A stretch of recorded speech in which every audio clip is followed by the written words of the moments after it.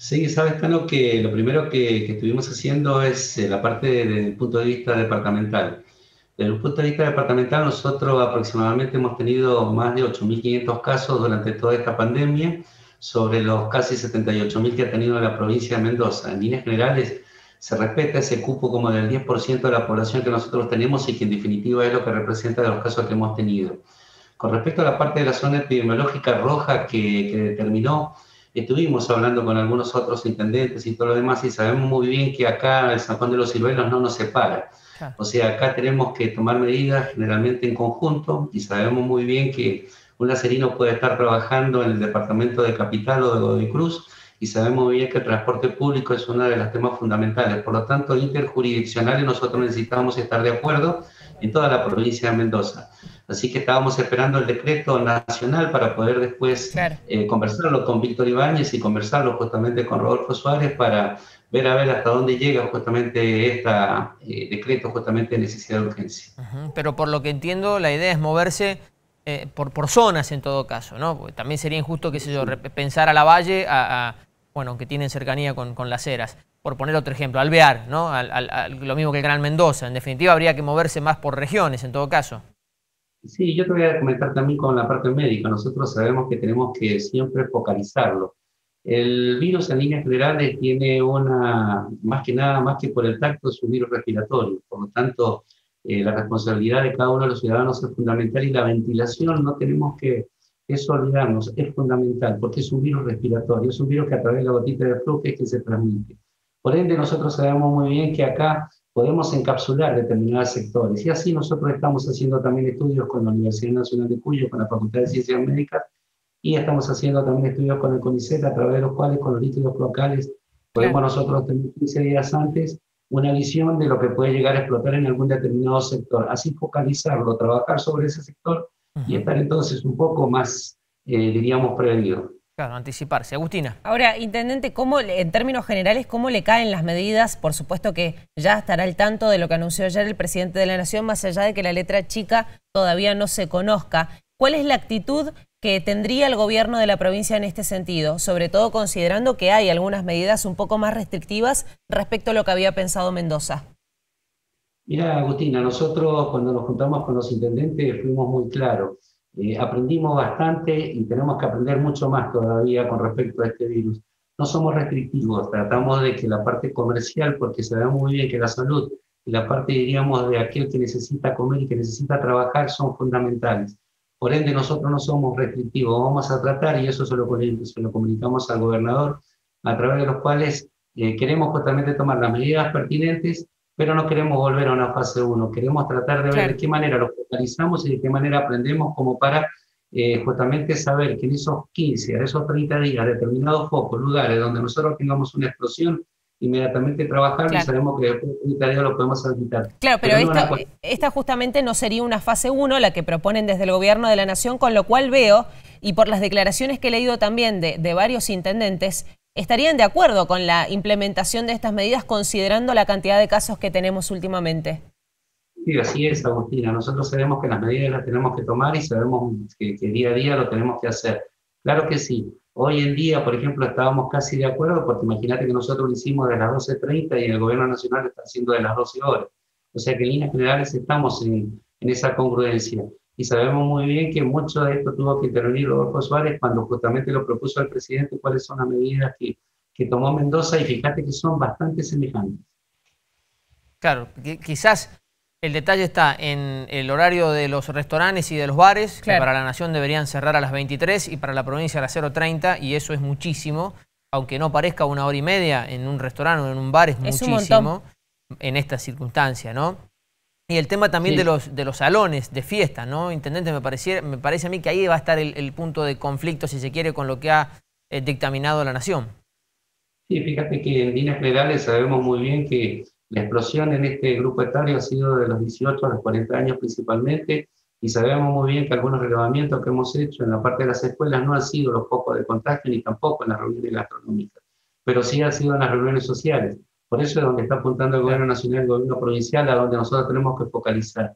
Y estamos en contacto permanente con las fiscalías y con la policía, junto con este guardia urbana municipal, para que nosotros seamos bastante estricto, diríamos, en la toma entonces de decisiones y cuándo justamente tenemos que tomar estas restricciones. Claro. Intendente, está bueno que usted lo aclare, porque conoce más que nosotros la vida de un hospital, por ejemplo. Porque por ahí muchos dicen, pero, pero ¿por qué de noche? ¿Qué de noche no contagia el virus y en el día sí? En realidad tiene que ver con todo lo que trae aparejada la noche, ¿no? Aparejado, digo, la noche. Este, el alcohol, los accidentes, por ejemplo, y por ende la, la mayor ocupación de camas. Sí, sabes que tuvimos justamente esa charla con el gobernador y los intendentes cuando lo hicimos y la mayor ocupación de camas que hoy teníamos en las clínicas privadas y en los hospitales públicos eran generalmente de accidentes, eran generalmente de personas que estaban lesionadas y generalmente sucedían la noche.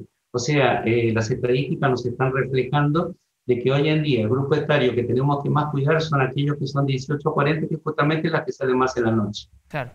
Y en el medio su situación, intendente, usted es médico y, y al mismo tiempo intendente y al ser intendente también conoce mejor que cualquiera de nosotros que la crisis económica es terrible, los números, qué decir, ¿no? De los números que cada vez nos, espantan más y nos entristecen más. ¿Cómo balancear ahí en el medio? ¿Qué En Mendoza tenemos un 44% de pobreza. Claro. ¿Cómo, ¿Cómo, balancear ahí en el medio, no? Caída del empleo, la pobreza que aumenta, el virus que golpea. Sí, así es. Nosotros el año pasado empezamos con algunas actividades de tipo diríamos, laborales, porque para nosotros la cultura del trabajo es fundamental, por eso se están construyendo casas municipales 108 que empezamos a entregar en agosto, y empezamos justamente en agosto del año pasado. O sea, la actividad para nosotros laboral es fundamental. También empezamos con una implementación de una tarjeta para aquellos cuentapropistas y monotributistas que no alcanzaban a tener la ayuda nacional y provincial y que también le pegamos una mano durante dos a tres meses. Nosotros consideramos que hoy en día, aparte de esa pobreza, como dijo Agustina, es fundamental hoy los cuentapropistas, los monotributistas, aquellas personas que hoy la están pasando muy mal, nosotros tenemos que llegar con ayuda, pero siempre decimos a través de la cultura del trabajo. Intendente, ¿es un error del gobierno de la nación poner a todos en la misma bolsa sin tener en cuenta quizás las costumbres de cada lugar? Porque quizás para Buenos Aires las 11 de la noche ya es tarde, ¿no? En, en un restaurante, cosa que no creo, pero puede pasar porque arrancan más temprano, porque tienen mucho más horario de corrido que nosotros. Pero aquí en Mendoza suena a una restricción mucho más fuerte. ¿Qué piensa usted?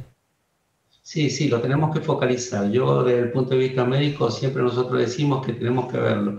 Yo te voy a comentar este estudio que estamos haciendo de los líquidos cloacales. Tenemos ocho puntos en el departamento de Las Heras a través de los cuales tenemos testeados los 240.000 habitantes del departamento. Y nosotros podemos saber con 15 días de anticipación dónde van a estar los focos nuestros en la sede. Entonces, de esa manera. ¿Pero por qué? ¿Cómo? ¿Me puede explicar un poquito más? Me resulta muy interesante esto. ¿Cómo es que llegan a esa conclusión?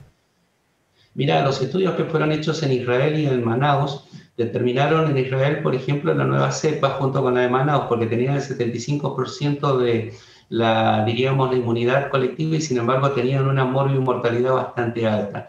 Y se dieron cuenta de que había algo extraño, y ese algo extraño no era desde el punto de vista cuantitativo, sino desde el punto de vista cualitativo y era la cepa de, justamente de Manaus, la famosa P1, así como descubrieron también en Inglaterra la 117. Eso se determinó justamente a través de todos estos estudios. Entonces nosotros le, pusimos mucho foco de atención y hace aproximadamente 3, 4 meses que estamos trabajando con el CONICET y la Facultad de Ciencias Médicas a través de los cuales nosotros con 15 días de anticipación a través de la carga viral N1 y N2, que nosotros tenemos parte del genoma del ARN del, del virus, y nosotros eso lo determinamos en esas ocho estaciones diferentes en el, en el departamento de las Heras, entre ellos Upayata. Y nosotros por eso podemos saber con 15 días de anticipación si tenemos una carga viral antes, eh, elevada.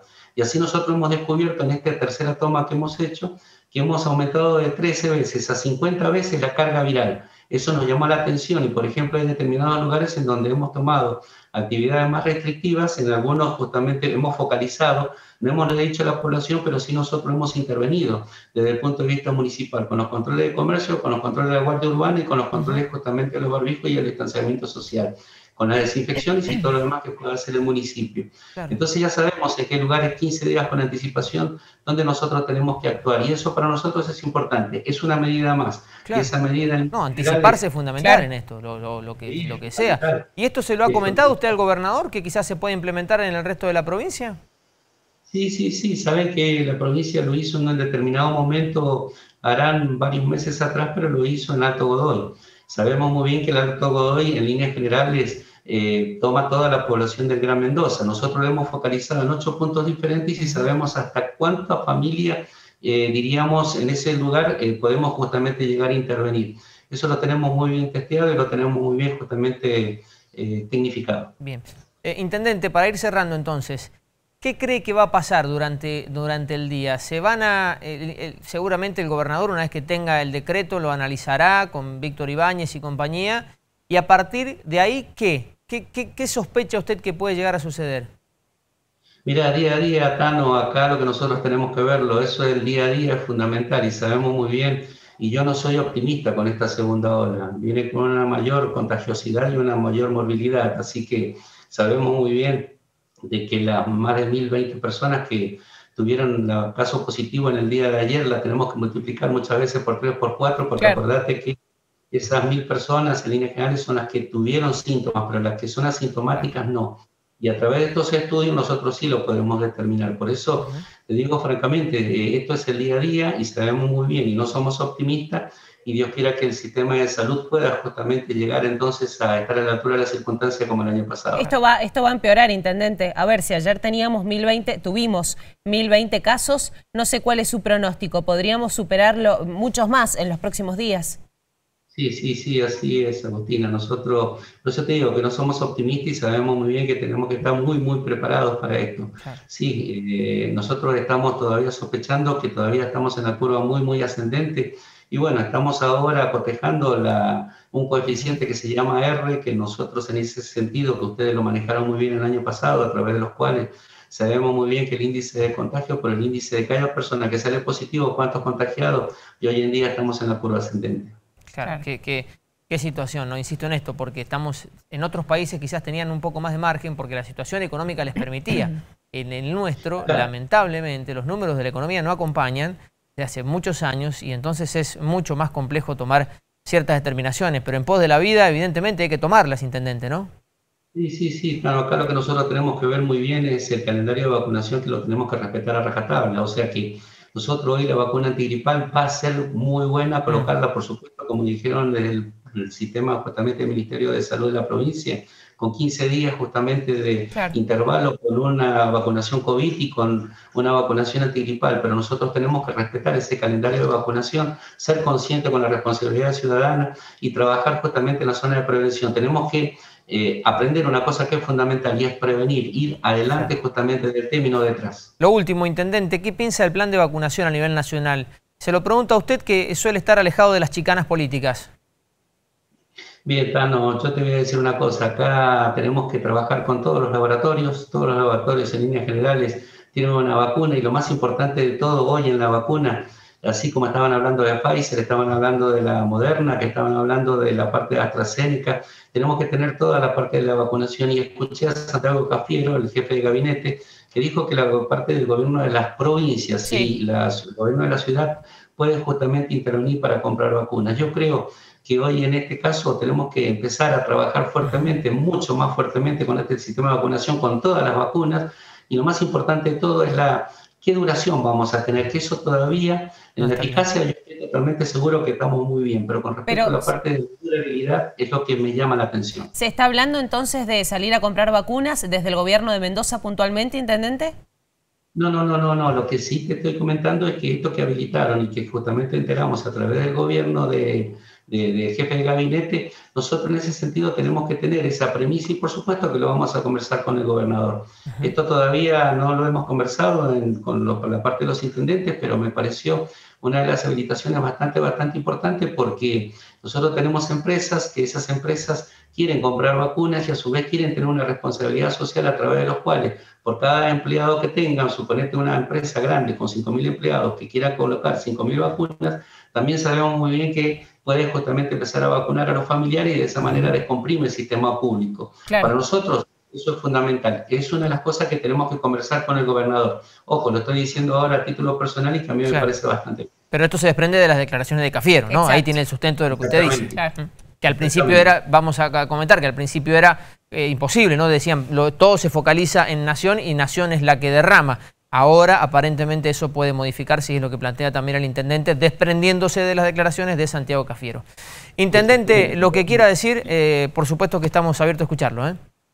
Sí, sí, lo más importante de todo, que nosotros sabemos muy bien que tenemos que tener, eh, diríamos, la precaución de que la ciudadanía es la parte más importante. Hoy en día, cuando usemos el transporte público, con la parte de la ventilación que es fundamental, las restricciones que tenemos que justamente cumplirlos a rajatabla, no tener las fiestas clandestinas, por favor. O sea, lo más importante de todo es que estamos muy preocupados y no estamos siendo optimistas con esta segunda ola. Por ende, nosotros sabemos muy bien que apelamos a la responsabilidad. Podemos hacer un montón de cosas, pero lo más importante es cada ciudadano con cada lugar, porque un joven lo puede pasar cortamente su enfermedad, lo puede pasar en 3, 7 días, pero tiene un abuelo, tiene un tío, un sobrino y sabemos muy bien que ha habido mucha gente que ha sufrido y que ha tenido pérdidas familiares con la primera ola. Entonces, lo más importante de todo es la responsabilidad ciudadana.